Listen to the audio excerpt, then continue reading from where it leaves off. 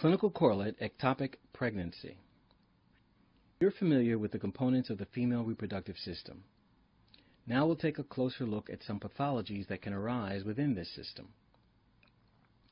The fallopian tube's function is essential in the development of a normal pregnancy. Pathologic and structural changes to the tubes can lead to an ectopic pregnancy. Take a moment to read the following clinical vignette.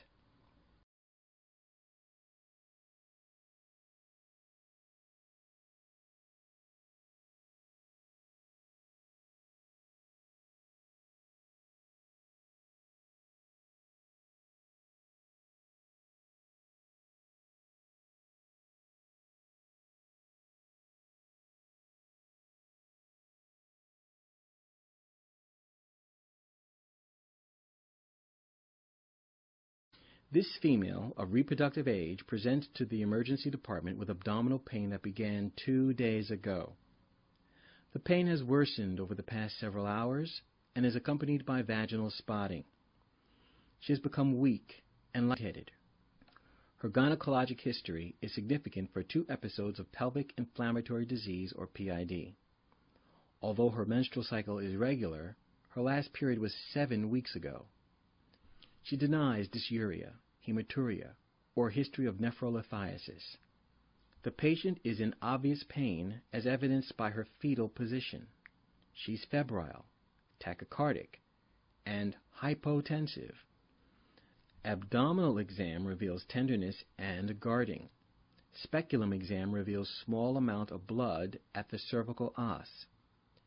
No vaginal discharge was noted. Bimanual pelvic exam is positive for cervical motion tenderness.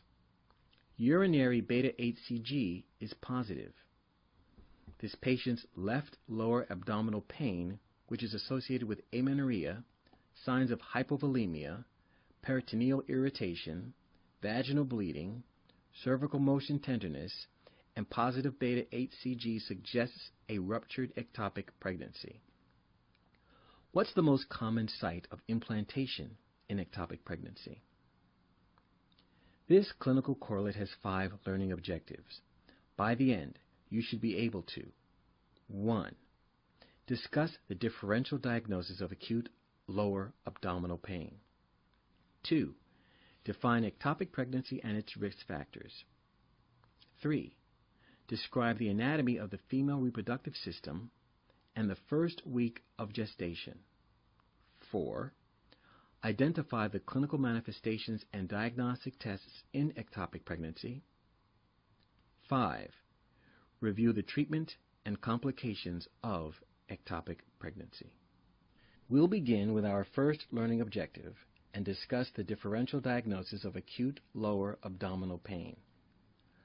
Common causes of lower abdominal pain are urinary tract infections, nephrolithiasis, pelvic inflammatory disease, diverticular disease, appendicitis, ovarian torsion, and ectopic pregnancy.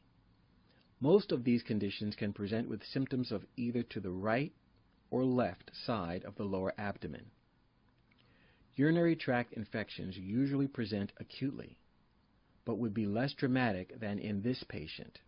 Furthermore, urinary tract infections would most likely present with dysuria, increase in frequency, or change in color or smell of urine, none of which are reported in this case. This makes urinary tract infection in this patient unlikely.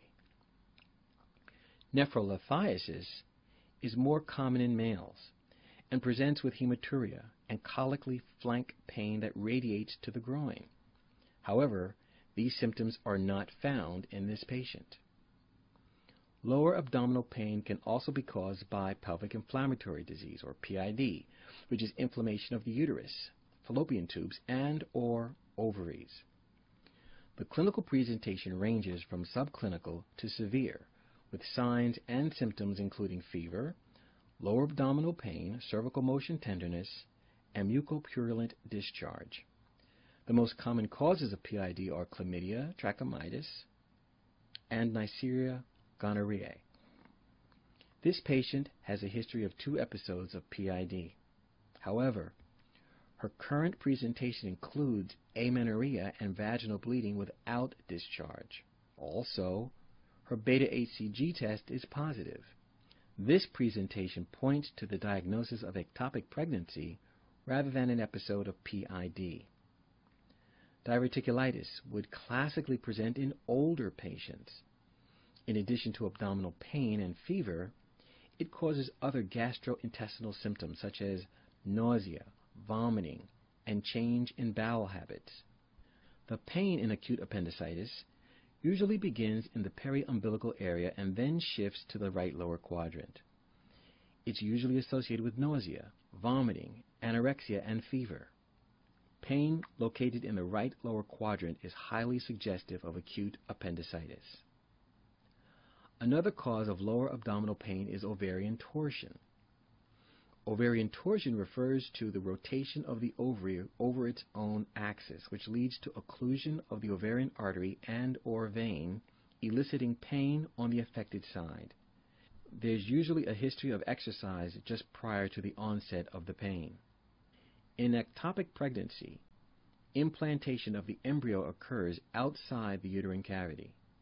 It presents with unilateral pelvic abdominal pain, amenorrhea, and vaginal bleeding. When ruptured, the symptoms will include signs of peritoneal irritation and shock. Let's now move to the second learning objective and define ectopic pregnancy and its risk factors. Ectopic pregnancy is defined as pregnancy outside of the uterine cavity. If the blastocyst, which is the embryologic structure that should implant in the uterus for any reason doesn't reach the endometrium, it can regress, or it could implant in any of the anatomic sites in its pathway. This is the very definition of ectopic pregnancy. It's established that 1 to 2% of all pregnancies are ectopic. The most common location for the development of an ectopic pregnancy is the ampulla of the fallopian tube, which occurs in 80% of the cases, followed by the fimbriae and the isthmus. Other rare locations of implantation are the cervix, the abdominal cavity, and ovary.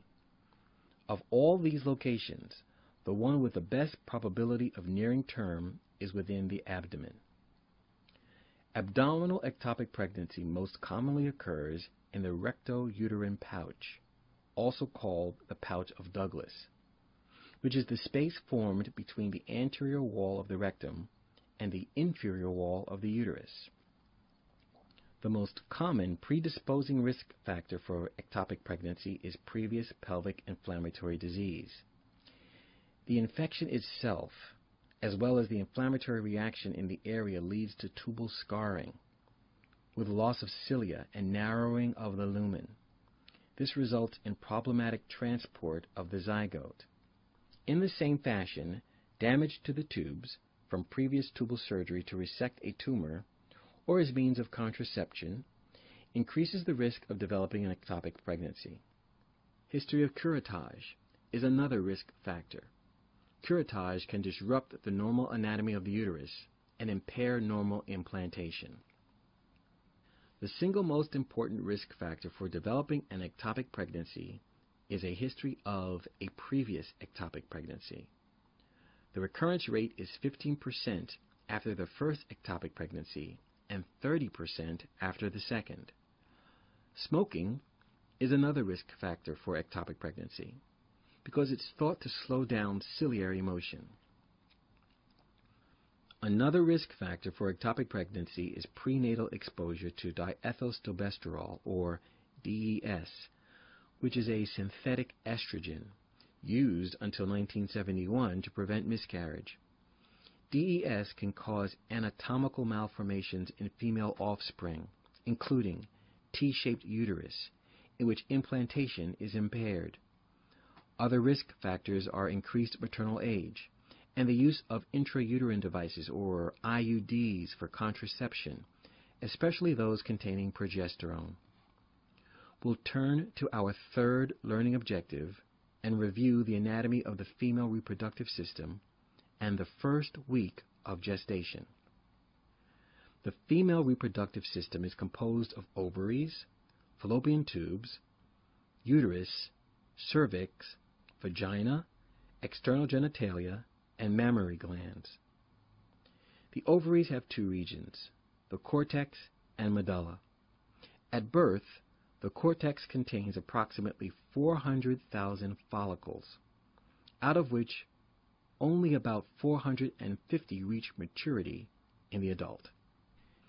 In every menstrual cycle, a few follicles begin to mature, but usually a single follicle becomes dominant, fully develops, and releases an oocyte upon ovulation. This process is known as follicular maturation.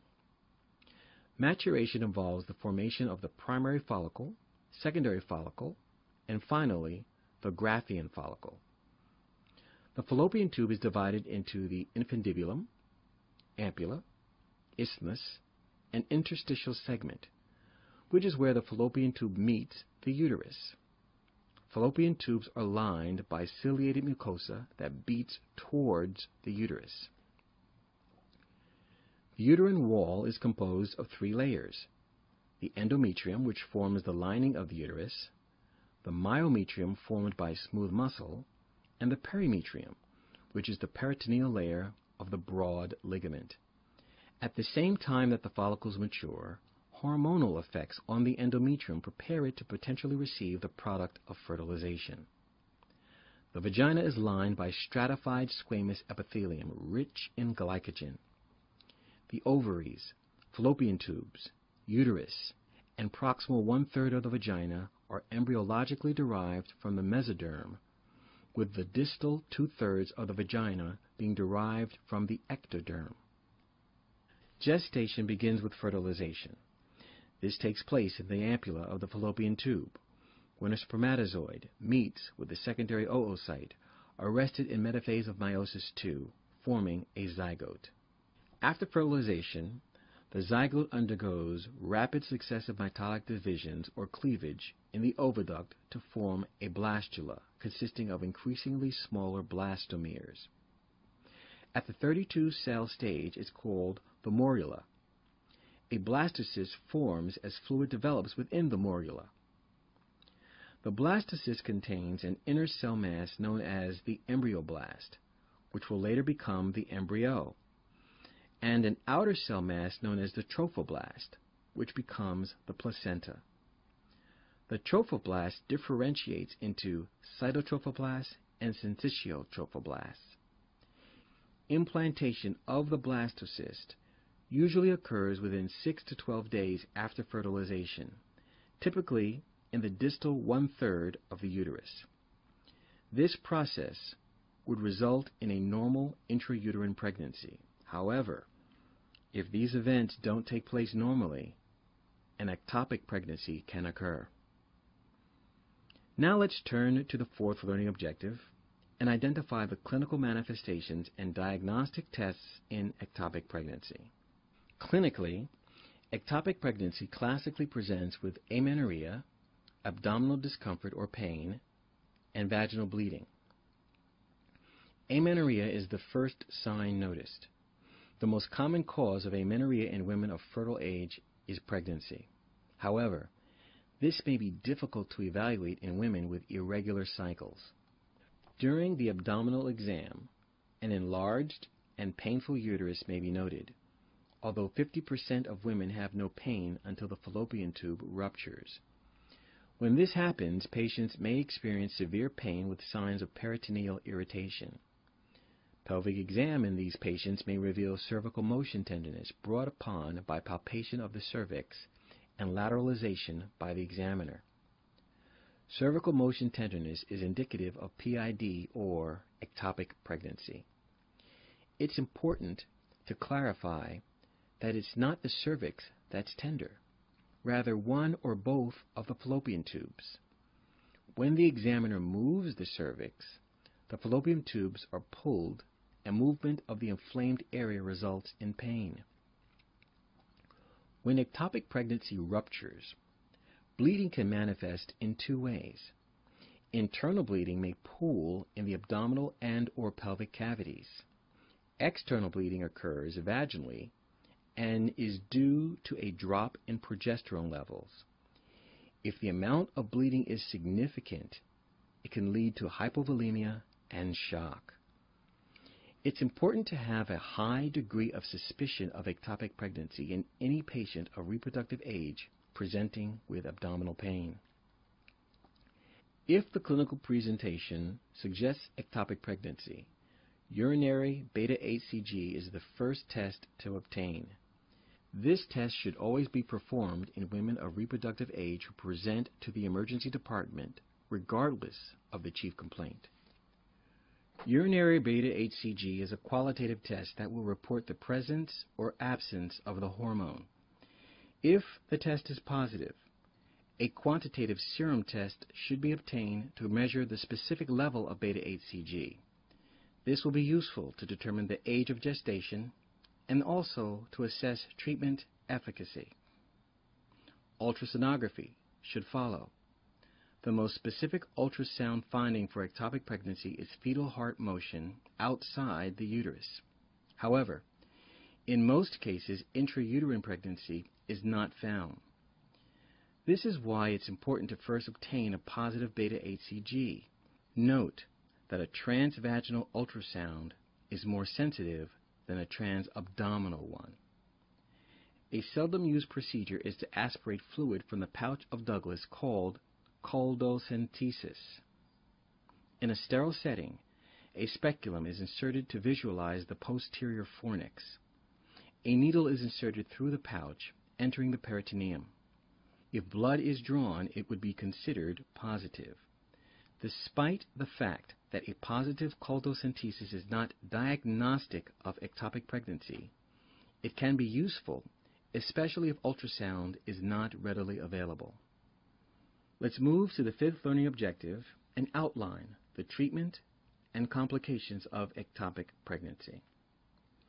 Ectopic pregnancy is treated as soon as the diagnosis is confirmed in order to minimize the risk of rupture and severe blood loss.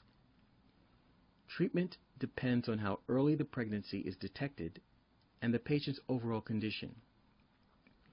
Treatment includes medical and or surgical management. Medical therapy is preferred in unruptured cases with beta-HCG levels under 6,000 milli-international units per milliliter. In this situation, medical management is effective in the majority of cases. The drug of choice is methotrexate, which will deplete the developing embryo of folic acid, an essential molecule for its growth. The lower the beta-HCG levels upon initiation of medical therapy, the higher the efficacy of methotrexate. Previous liver disease precludes the use of methotrexate. After initiating therapy, beta-HCG levels must be followed on a weekly basis to ensure its progressive decline. If levels rise, stay unchanged, or if the ectopic pregnancy ruptures, surgical management must be considered. Laparoscopy with salpingostomy, which is the opening of the fallopian tube without its removal, has become the preferred method of surgical treatment. However, a salpingectomy or tubal removal must be performed in the case of rupture. Rupture of ectopic pregnancy can lead to hypovolemic shock, disseminated intravascular coagulation, and even death. Long-term complications are infertility, and increased risk of recurrence. Let's return to our vignette and apply what we've just discussed. The patient's clinical presentation includes most of the signs and symptoms of an ectopic pregnancy. More so, it appears to have ruptured given her signs of shock and peritoneal irritation. The best course of management would be to resuscitate the patient using intravenous fluids and perform an emergency salpingectomy. What's the most common site of implantation in ectopic pregnancy? The ampulla of the fallopian tube is the most common site of implantation in an ectopic pregnancy.